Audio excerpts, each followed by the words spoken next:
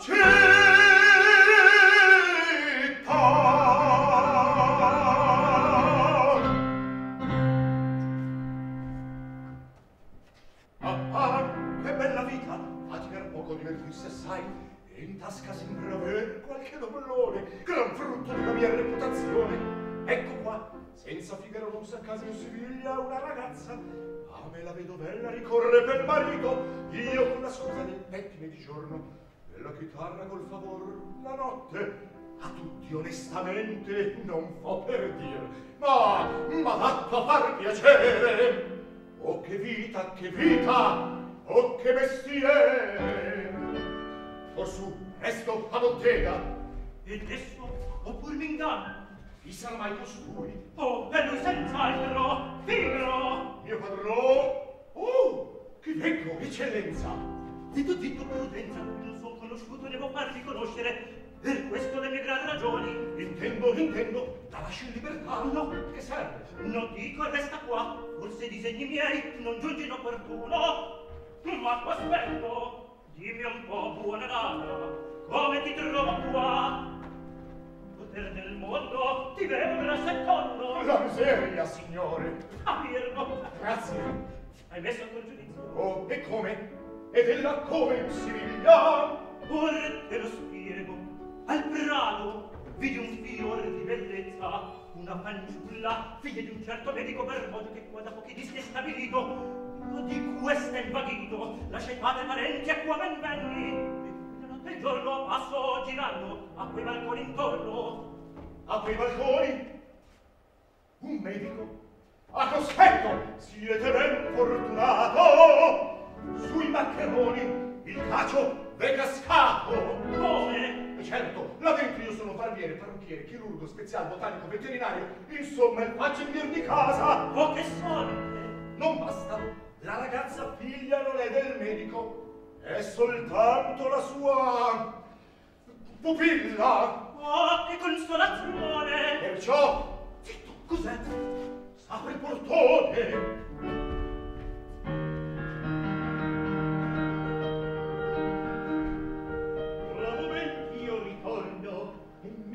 per nessuno e se don Basilio venisse a ricercarmi che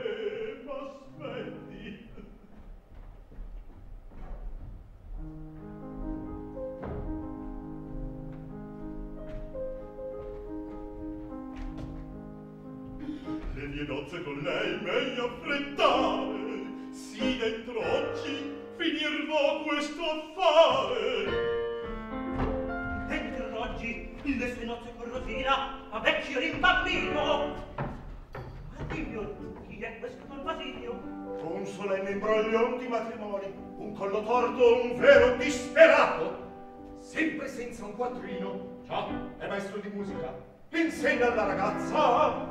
Bene bene tutto ciò va sapere ora pensate della bella rosina a soddisfar le brame in una canzonetta così alla buona. Il tutto spiegatele signor. In una canzone? Certo. Ecco la chitarra. Presto andiamo. Ma io? Ma che pazienza! Ebbene troviamo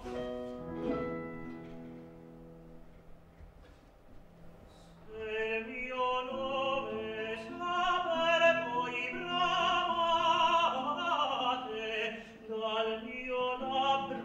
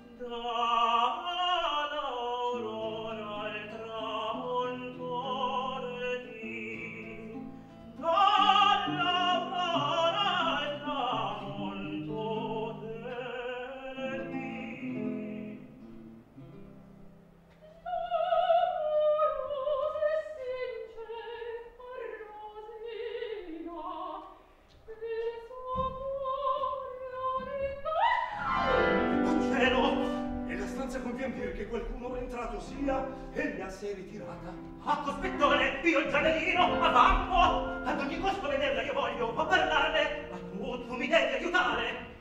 Che furia! Sì, sì, ti aiuterò! Da bravo! Dentro oggi vuoi che tu mi introduca in quella casa? Dimmi come farai! Via del tuo spirito, vediamo qualche prodezza!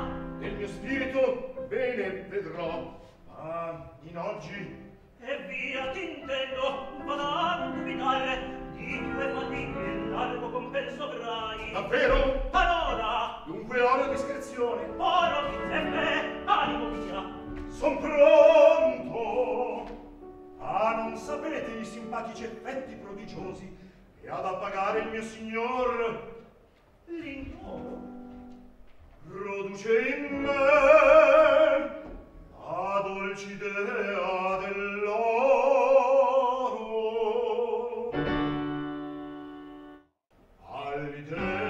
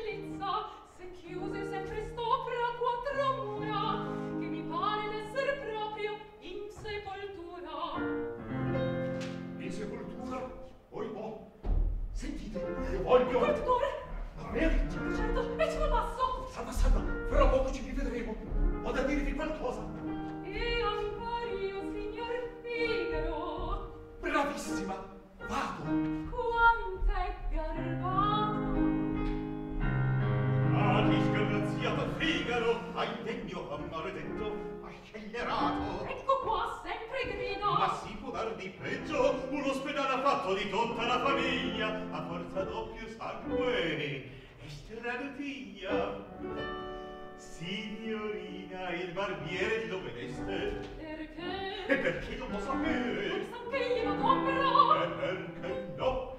E beh ve lo dirò. Sì. L'ho veduto, gli ho parlato, mi piace, ma è simpatico il suo discorso, il suo gioviale aspetto. Crepa di rabbia, vecchio maledetto, ti è?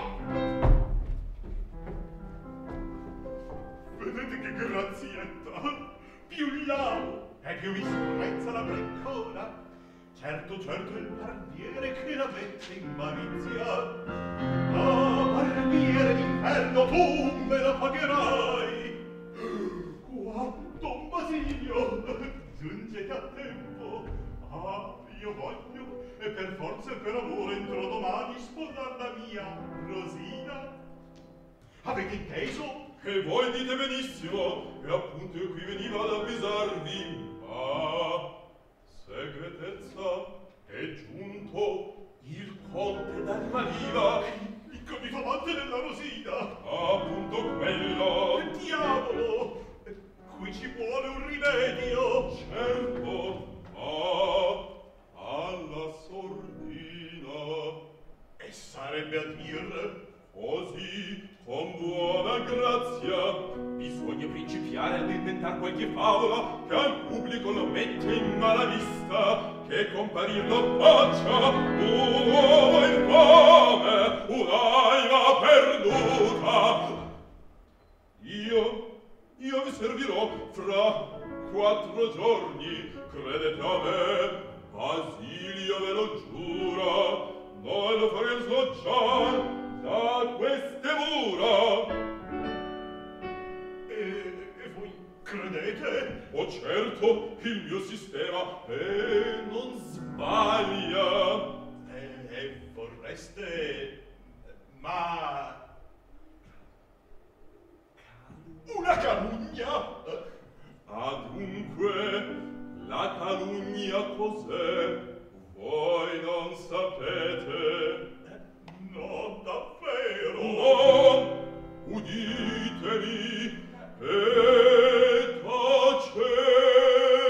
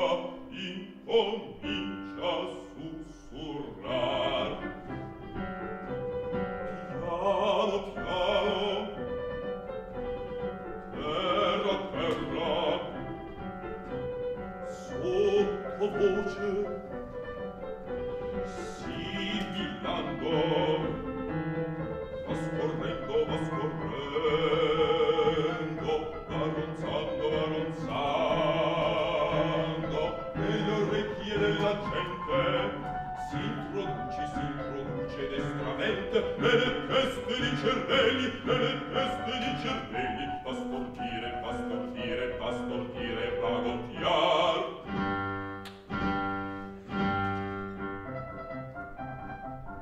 Alla bocca fuori uscendo, lo schiamazzo va crescendo, prende forza poco a poco, ora già di no quel loco, sempre il buon, quel loco, il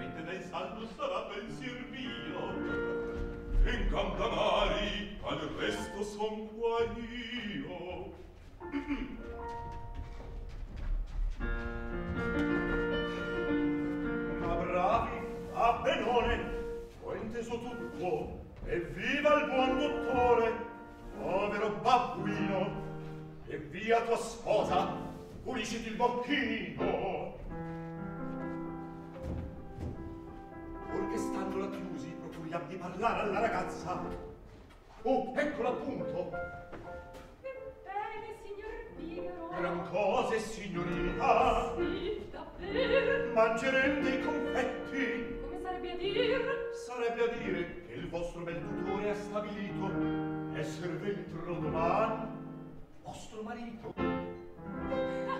Che via. Ah, ve lo giuro, a stendere il contratto col maestro di musica là dentro s'è servato. Sì, o l'ha sbagliato me, povero sciocco, l'avrà da far con me.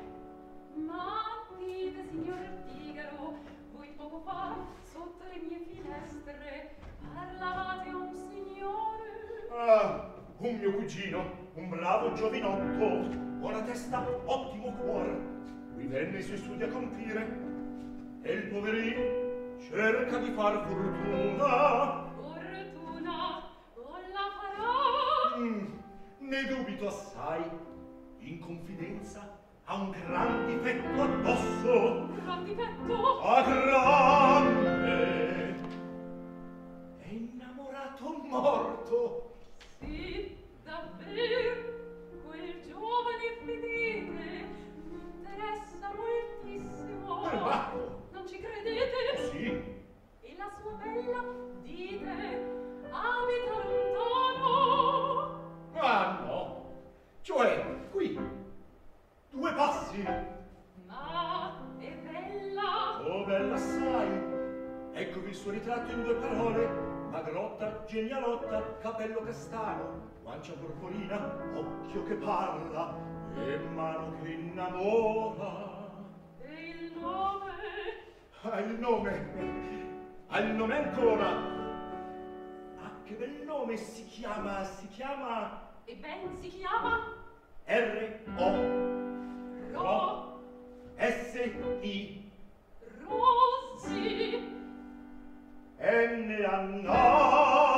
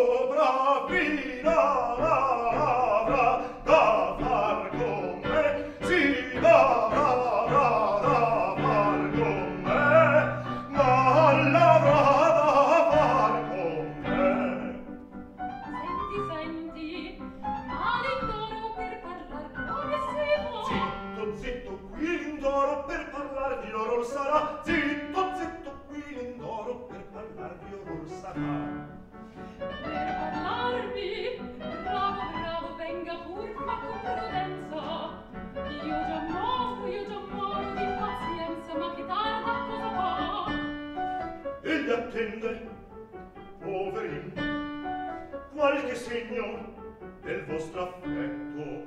Sol due rire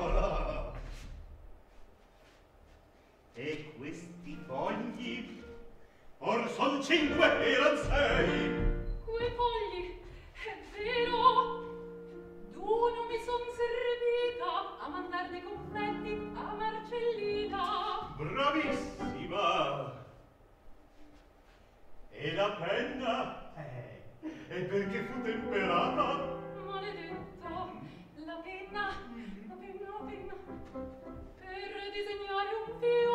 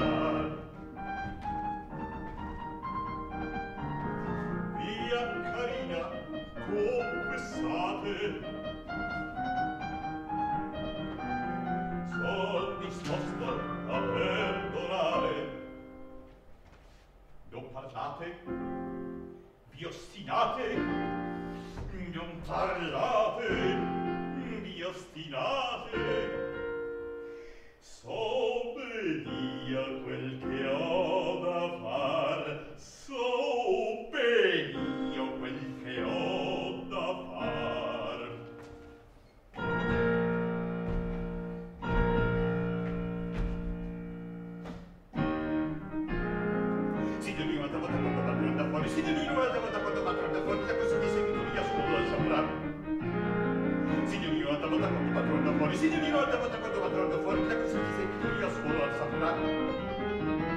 E lo sapone, poi faccia pure che ti faccia, faccia pure, faccia pure, faccia pure, che ti volta.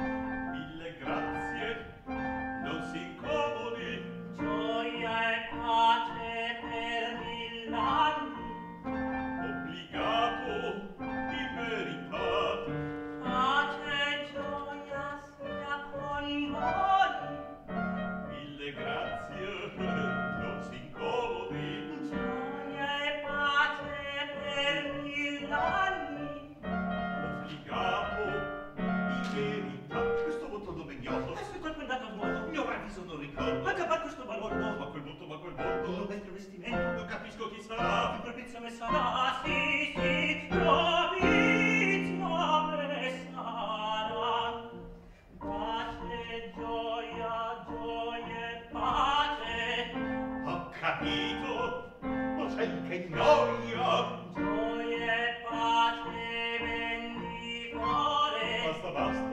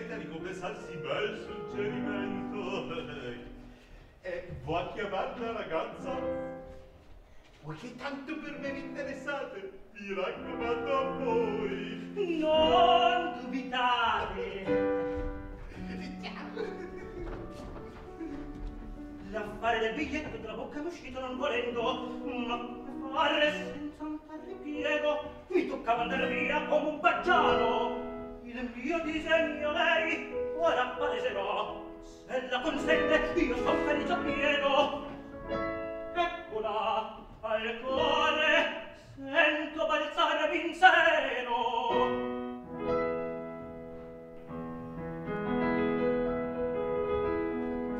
Venite signorina, Don Alonso che qui vedete ormita la lenzuola. Ah! Che cos'è stato? Eh, eh un carroccio al piede. Oh nulla, sedete a mericin, bella fanciulla, non vi spiace un poco di lezione di Don Basilio invece vi darò. Oh, un mio gran piacere la prenderò. Che vuol cantare? Io canto se va che grada il rondò dell'inutil precauzione. Ma quest'aria cospetto è assai noiosa. La musica ai miei tempi era un'altra cosa a quando per esempio cantava Cavariel quell'aria portentosa prenda per padronda e sentite Don Alonso eccola qua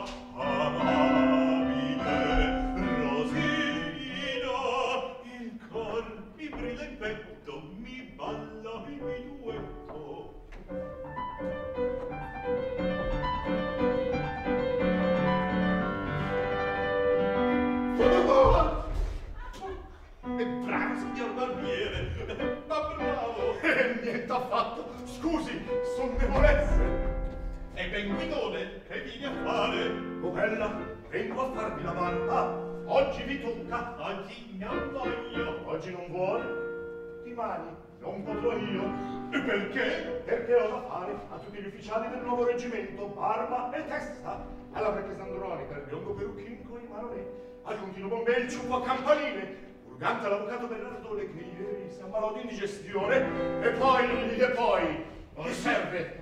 Domani non posso. Nessun meno parole. Oggi non può far barba. No, cospetto, guardate che avventori. Vengo stamane e in casa dell'inferno. Ritorno dopo pranzo. Oggi non voglio. Ma che m'avete preso per un qualche barbietta contadino? Chi amate pure un altro? io me ne vado. A modo suo vedi che fantasia.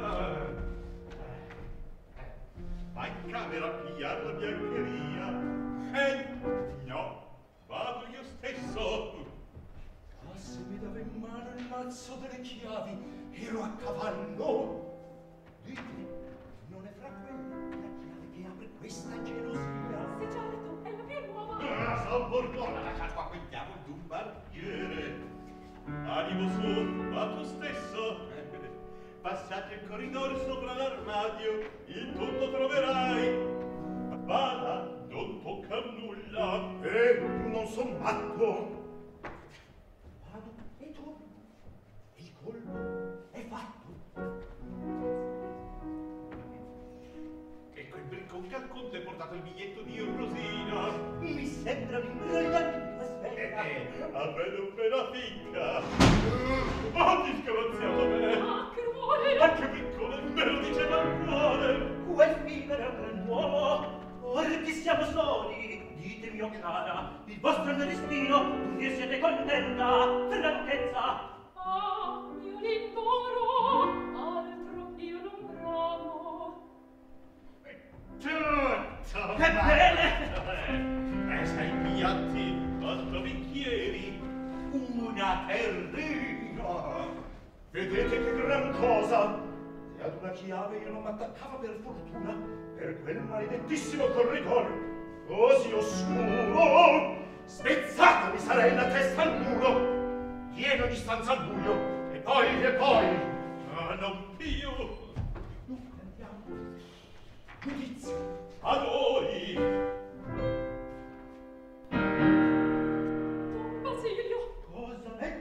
quale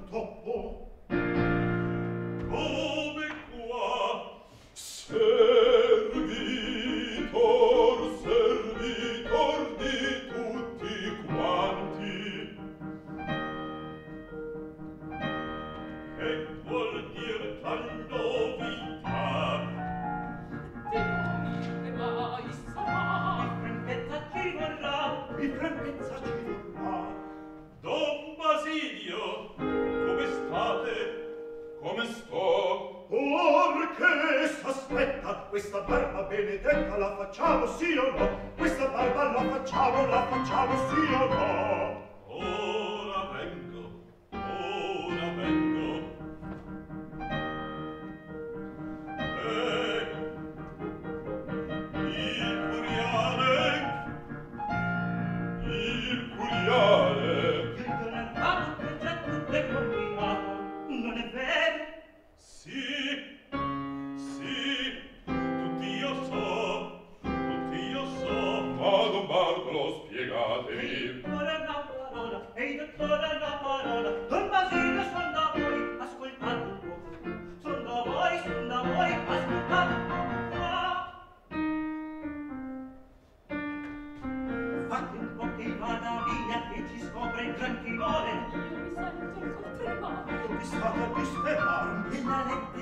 cuore e l'affare ancora non sa. A più certo che il pasticcio non s'arriva a indovinar ci scopro gran timore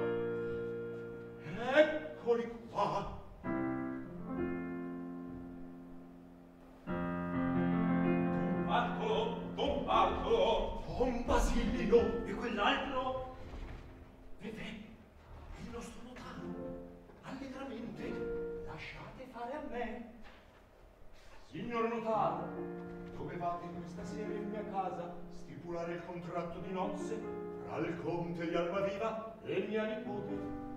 Avete indosso la scrittura? Benissimo! Ma piano, Don Bartolo dov'è? Ehi, Don Basilio, questa è per voi! Ma io! Per voi! Vi sono ancor due palle nel cerebello, se v'opponete! Poi, oh, prendo l'anello, ti firmo!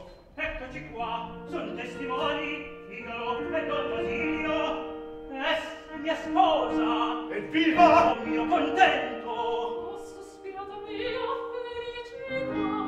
Evviva! Fermi tutti! Eccoli qua! Con le buone signor, signor, scollateli, arrestate, arrestate!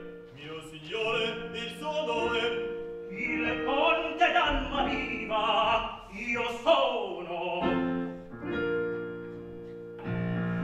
Insomma io ho tutti i torti. Purtroppo è così. Ma tu pur purbriccone tu vuol tradirmi e falta da testimonio ah tu Bartolomio qui il signor conte certi ragioni ha in tasca certi argomenti a cui non si risponde. E io, bestia solenne per meglio assicurare il matrimonio porta via la scala dal balcone ecco che fa un inutile